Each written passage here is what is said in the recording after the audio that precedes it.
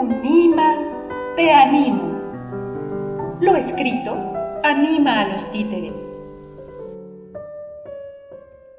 Hola, ¿cómo están todos? Me da mucho gusto volverlos a saludar aquí en nuestro programa Unima te anima. Recuerden que Unima es el mundo titiritero, allí donde nos podemos inscribir todos los titiriteros del país para que realicemos actividades en conjunto y darlas a conocer a los titiriteros del mundo. Es una unión internacional de marionetistas y hoy quiero platicarles un poquito más de este mundo, porque todos decimos el mundo titiritero, pues ese mundo es extensísimo y ustedes, profesores, alumnos de teatro, todos pueden encontrar en el arte del títere una forma interesantísima de proyectar todos sus, sus, objetivos, sus intenciones, sus guiones, sus, sus intereses. Van a ver por qué. Empecemos. Bueno, ¿qué es un títere? Dices, un muñequito. No, señoras y señores, es mucho más que un muñeco. Un títere es un objeto plástico, es decir, puede estar elaborado de tela, de cartón, de papel, de piel, de, de, de, frutas, de, dedos, de manos, de lo que ustedes quieran. Es un objeto plástico animado que cumple una función dramática ante un público con el fin de establecer comunicación, de tal forma que si no tengo un público, ese objeto no se puede convertir en títere, señoras y señores, ¿verdad, señora elegante? ¡Oh! ¡Sí, sí, sí, sí, sí! ¡Qué bueno que me haces entrar aquí porque yo soy precisamente un objeto plástico! Exacto, un objeto plástico de cartón. No, sí, pero eso, eso, cuando yo me encuentro en la maleta, no soy un títere, señoras y señores. Por eso no nos gusta estar en, la maleta a los títeres. Exactamente, no nos gusta estar con los títeres en la maleta porque no se están realizando como tales. Ese es el primer punto más interesante. El otro punto más interesante de qué cosa es un títere, dígalo usted, ¿no? ¿Qué es usted? Que yo le siempre le he dicho, usted no es una rana, es una ¡Metáfora! Exactamente, que le costó mucho trabajo aprenderse esa palabra. Ella no es una rana, es como Magritte, ¿no? Que decía en sus cuadros, esto no es una pipa. No es una pipa. Pues no, obvio, no es una pipa, es una pintura de una pipa. Pues esta no es una, no es una rana, es una metáfora. Es decir, una representación de lo que en realidad es una rana. Y esa es la maravilla dentro de los, de los textos teatrales y titiriteros, que eh, es una herramienta maravillosa para poder expresar muchas cosas, ¿verdad? Yo te puedo decir a través de ella que a mí hay personas que a mí me representan una rana. Y entonces ya pensarás por qué. Ya pensarás por qué, ¿no? Eso es, hay ahí el juego de la metáfora. Entonces el títer es todo esto, díganme si no es maravilloso. Pero sol, para ser titiriteros no solo necesitamos títeres, ¿qué necesitamos, señora elegante? ¡Uy! Un montón, montón de cosas. Mira, necesitamos... Eh, no, no me hables a mí, háblale a ellos, a los chicos, a los profesores de secundarias técnicas. Miren, miren chicos, profesores, miren, necesitamos necesitamos, bueno, mira, cuestiones prácticas y cuestiones, este, como de drama o del teatro. Ay, qué complicado, ¿qué me quieres decir? Mira, es que cuestiones plásticas ya dijiste que son los títeres, ¿verdad? Sí. Bueno, pues ahí entra también la escenografía, entran las utilerías, entran los accesorios.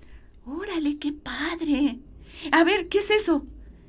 Ay, pues te lo voy a explicar muy rápido, porque mira, los accesorios y las utilerías son todo eso que vas a necesitar para que tu texto o tu guion o tu... Uh, sí, lo que vas a decir se desarrolle de la mejor manera.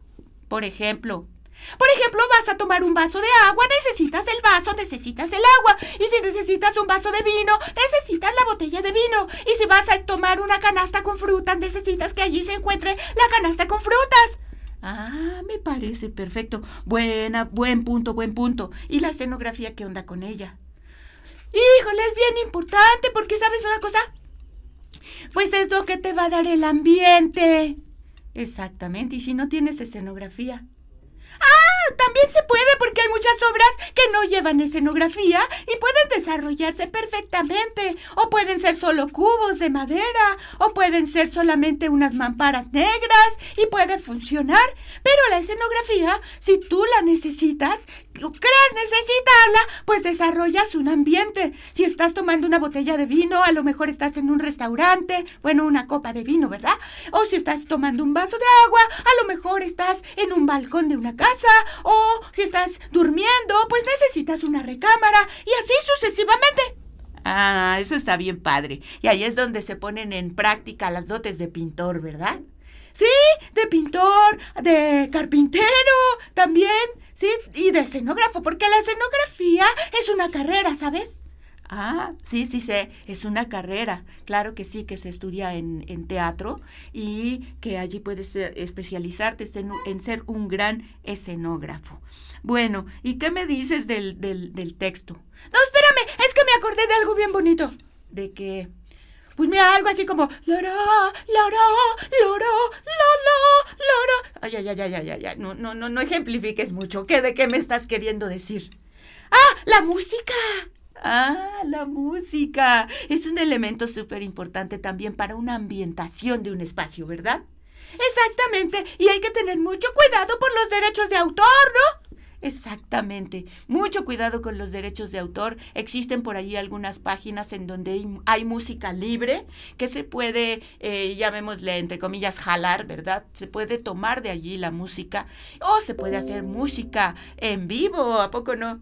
Sí, eso es cuando a los titiriteros pues se les da la oportunidad de tener músicos en vivo. Eso le da mucho más eh, fuerza al espectáculo. Exactamente, le da mucho más fuerza al espectáculo porque están allí en vivo accionando los tambores, el violín, la guitarra o música en vivo o computarizada, ¿no? Es cierto, acabo de ver una obra así donde la chica hizo una musicalización impresionante. Exactamente, impresionante lo que hoy se puede hacer con las tecnologías. Y los programas que hoy, sobre todo muchos chavos, muchos jóvenes pueden manejar. Muy bien. ¿Y qué nos puedes decir del, del, texto? ¡Ay, no! Es que el texto es de lo más importante. Sí, ¿verdad? Aunque no se hable, ¿a poco no? Sí, eso. A veces ni siquiera se habla, pero es muy importante que el texto se encuentre escrito, que exista un guion para que el director o el titiritero director pues sepa qué es lo que va a hacer. Exactamente. Chicos, llegamos a la parte más importante de profesores, profesoras. Dentro del texto encontramos un montón de elementos, entre ellos, bueno, de qué trata la obra, ¿verdad? Allí se va a encontrar, pero los personajes, los personajes son importantísimos. Tú eres una rana elegante. Sí, soy una rana elegante, así fui elaborada, así fue. Eh, ahora se me cayeron los aretes, tengo unas pestañas gigantes y soy una rana elegante porque soy la dueña de la laguna. A diferencia de las ranitas que trabajan en la laguna y tienen unos paliacates en su cuello porque sudan. Ellos sudan al trabajar. Exactamente. Había que establecer una diferencia a través de los personajes de la función que va a desempeñar cada uno de ellos. Entonces allí es donde nos vamos a remitir a los personajes tipo, ¿verdad? Exactamente, a los personajes tipo, porque nosotros somos una serie de signos. Híjole, fíjense que los títeres también tienen su teoría, ¿eh? Y dentro de esa teoría titiritera es donde entran estos factores como el uso de la, de la metáfora, el guion dramático, eh, qué tipo de dramaturgia estamos utilizando, qué tipo de personaje, cómo le vamos a llamar, qué es un personaje tipo, qué son los tropos, en fin, todo esto son cuestiones teóricas que todo titiritero debemos de conocer, ¿verdad? Exactamente. Entonces tenemos personajes de varias pues eso, tipos, a través de los signos, o por ejemplo esto que tengo mis pestañotas y mis aretes y todo, eh, son una serie de signos que a ustedes les van a dar el mensaje de que soy un personaje tipo que representa una rana elegante, dueña de la laguna. Exactamente. Entonces tenemos personajes profanos, personajes populares, tenemos, la metáfora, porque son metáfora, ya dijimos, un títer es una metáfora del ser irreverente, del ser grosero, inmoral, grotesco, anormal. Entonces, títeres con una enorme nariz ganchuda, una joroba, una barriga prominente, todo esto nos va dando un carácter del personaje, ¿verdad? Exacto, nuestro personaje tipo. Y si nosotros sabemos manejar correctamente el personaje, pues entonces nuestro público podrá identificarlo bien y en función de sus experiencias, de sus, de sus vivencias, lo van a identificar inmediatamente. Por eso a los niños les gustan los títeres, ¿no? Exactamente, buen punto. Por eso a los niños les gustan los títeres, porque inmediatamente identifican en ellos un comportamiento, una forma de ser, un tipo de personaje, ¿no? Sí, mismamente. Mismamente. Aquí decimos mesmamente, amiga mesmamente. Exactamente. Muy bien, vamos a cerrar con una cosa bien padre que a mí me conmovió muchísimo en una de... Estaba haciendo mi tesis, porque ya debes saber que mi tesis fue sobre títeres, ¿no? Ay, pues faltaba más. Exactamente. ¿Y qué creen que descubrí allí? La raza. ¡Eh, la raza! ¿Esa raza de allá del norte? No, señorita, la raza con S. ¿Cómo? ¿Raza con ese? Raza con ese. Muy bien. Resulta que tenemos a un, me imagino que era antropólogo, sociólogo, que se fue allá a la isla de Java a hacer sus investigaciones y se encontró con los títeres javaneses que son milenarios los títeres javaneses y ellos frecuentemente suben eh, escenas del, del Ramayana, del Mahabharata y suben también muchas guerras entre ellos. Y ellos tienen un concepto súper bonito que es el concepto de la raza. ¿Y qué dice eso? Dicen, todo cuanto vive tiene raza y todo cuanto tiene raza vive. Lo que vive, siente. Y lo que siente, vive. Lo que vive, tiene sentido.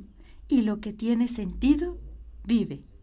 Es sentimiento y significación. Entonces, ¿cómo ves? Pues sí se oye bien padre, porque es el sentido de la vida, la vida con sentido y consentida. Exactamente. Eh, la raza es este ser que tiene una razón de existencia y que además la explora, la explota y a través de ella crea, es y realiza una transformación dentro del mundo. ¡Qué bonito, ¿no? ¡Ey, bien! Muy bien, perfecto. Pues vamos a cerrar aquí porque el mundo del títere es esto y mucho más. Cuando quieres ser un titiritero profesional, un titiritero amoroso y apasionado, necesariamente vas a ir a dar a este tipo de conceptos, de investigaciones, de teorías, de ideas y, y de todo el ámbito teatral en general. ¿Nos despedimos, Ranita? Sí, sí, a mí me gusta, me gusta ser parte de algo tan, tan, tan importante y no ser allí una rana, una rana ahí elegante. Soy mucho, ¿no? Exactamente, tú eres mucho rana como cada uno de nuestros personajes, como cada uno de los titiriteros, de los que escriben un guion, de los que montan una escenografía, de los que la pintan, de todas, cada una de las ideas dentro del arte del teatro del títere es fundamental. Así es de que con esto los dejamos aquí en este programa de Unima te anima y nos vemos la próxima con nuevas noticias. Adiós. Oye, Jaime, ¿en dónde estamos? Eh, en Dejes Radio. Sí, porque Dejes Radio es tu... Es tu radio, Jaime. Se te va el avión. Eh, eh, el avión, el avión.